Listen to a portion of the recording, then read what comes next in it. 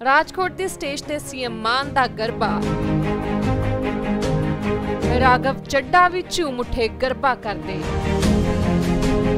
ਮੁੱਖ ਮੰਤਰੀ ਭਗਵੰਤ ਮਾਨ ਦੋ ਦਿਨਾਂ ਦੇ ਗੁਜਰਾਤ ਦੌਰੇ ਤੇ ਗਏ ਹੋਏ ਨੇ, ਜਿਸ ਦੌਰਾਨ ਉਹ ਗੁਜਰਾਤੀ ਰੰਗ ਵਿੱਚ ਰੰਗੇ ਹੋਏ ਨਜ਼ਰ ਆਏ ਨੇ।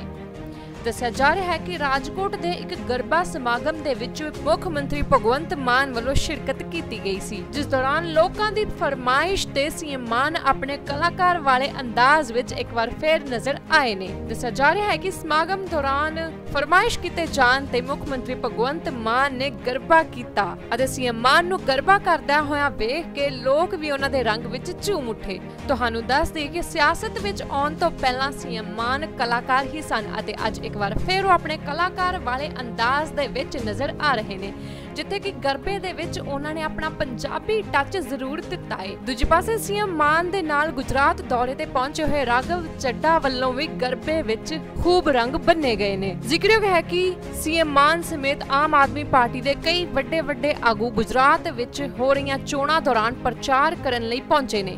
ਅਤੇ ਕਿਉਂਕਿ ਨਰਾਤਿਆਂ ਦੇ ਦੌਰਾਨ ਗੁਜਰਾਤ ਵਿੱਚ ਗਰਬਾ ਦੇ ਕਾਰਜਕ੍ਰਮ ਕੀਤੇ ਜਾਂਦੇ ਨੇ ਅਤੇ ਅਜਿਹੇ ਹੀ ਕਾਰਜਕ੍ਰਮ ਦੇ ਵਿੱਚ ਪੰਜਾਬ ਦੇ ਮੁੱਖ ਮੰਤਰੀ ਭਗਵੰਤ ਮਾਨ ਨੂੰ ਵੀ ਸੱਦਾ ਮਿਲਿਆ ਸੀ। ਸੀਐਮ ਮਾਨ ਦੇ ਗਰਬਾ ਕਰਦਿਆਂ ਦੀਆਂ ਤਸਵੀਰਾਂ ਸੋਸ਼ਲ ਮੀਡੀਆ ਤੇ ਬਹੁਤ ਵਾਇਰਲ ਹੋ ਰਹੀਆਂ ਨੇ ਅਤੇ ਸਾਰੇ ਹੀ ਲੋਕ ਆਪਣੇ ਮੁੱਖ ਮੰਤਰੀ ਭਗਵੰਤ ਮਾਨ ਨੂੰ ਵੱਖਰੇ ਨਵੇਂ ਅੰਦਾਜ਼ ਵਿੱਚ ਵੇਖ ਕੇ ਬਹੁਤ ਖੁਸ਼ ਹੋ ਰਹੇ ਨੇ ਅਤੇ ਇਸ ਦੀਆਂ ਤਸਵੀਰਾਂ ਬਹੁਤ ਪਸੰਦ ਕੀਤੀਆਂ ਜਾ ਰਹੀਆਂ ਨੇ।